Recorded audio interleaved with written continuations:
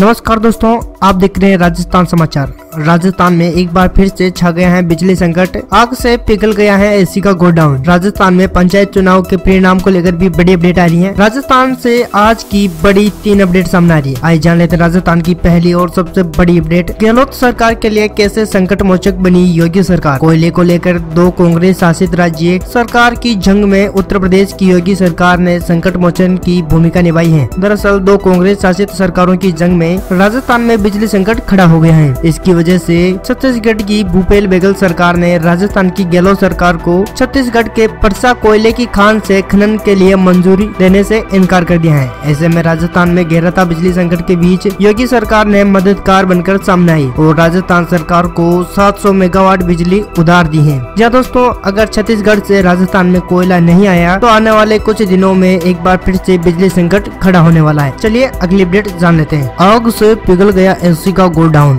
अलवर के Neemrana industrial area में आग से डाइकिन कंपनी के एयर कंडीशनर एसी का वेयर हाउस तबाह हो गया है। आग इतनी भयंकर थी कि गोदाम पूरी तरह पिघल गया। आग से 50 करोड़ के एसी कबाड़ बन गई। आग पर काबू तो पा लिया गया, लेकिन इंडस्ट्रियल एरिया अब भी धुएँ से लिपटा हुआ है। खास बात यह है कि जापानी दूतावास ने जयपुर के मुख्यमंत्री निवास को आग की सूचना दी, तब जाकर प्रशासन सक्रिय हुआ। इस वेयर हाउस के हालात यह है कि यहाँ अब कुछ नहीं बचा। मैनेजमेंट की ओर से दावा किया जा रहा है कि यहाँ करीब बाईस हज़ार एसी और बाईस हज़ार कम्प्रेशर थे, जो पूरी तरह से जलकर खाक हो चुके हैं। आग की शुरुआती वजह शॉर्ट सर्किट बताई जा रही है। चलिए अगली अपडेट जान लेते हैं। पंचायत समिति व जिला परिषद चुनाव परिणाम। राज्य के चार जिला, कोटा, बारा श्रीगंगानगर और करौली में तीन चरणों में हुए पंचायत समिति और जिला परिषद के चुनाव के परिणाम तेज़ी से आना शुरू हो गए। प्रारंभिक परिणामों में पंचायत समिति के सत्ताधारी कांग्रेस ने बढ़त बना रखी है। कांग्रेस को अब तक सबसे ज़्यादा एक